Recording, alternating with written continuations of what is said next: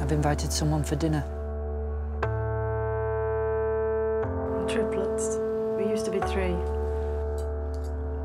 My sister died just a few hours after birth. Oh, I'm sorry to hear that.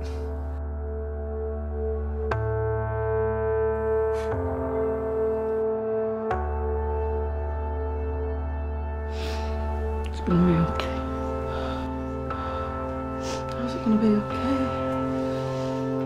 Not just about you, Maddie. I need you to be patient. Please. I need this to happen now. I want it to happen now.